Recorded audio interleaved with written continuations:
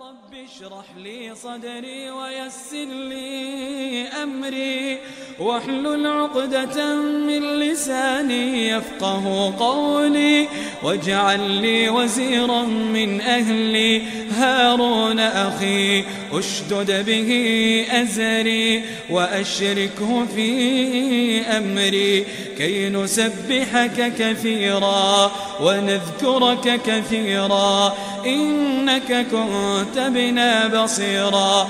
قال قد أوتيت سؤلك يا موسى ولقد مننا عليك مرة أخرى.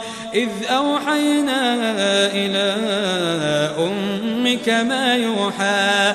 أن اقذفيه في التابوت فاقذفيه في اليم فليلقه اليم.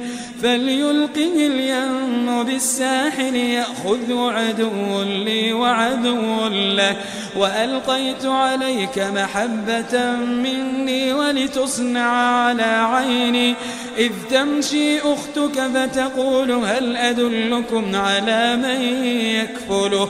فرجعناك إلى أمك كي تقر عينها ولا تحزن.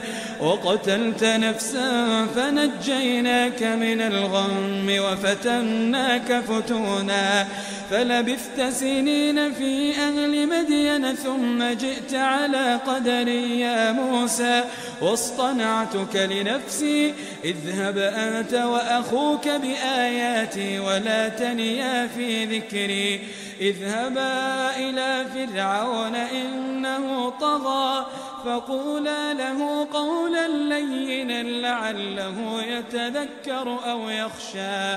قالا ربنا إننا نخاف أن يفرط علينا أو أن يطغى. قال لا تخافا إنني معكما.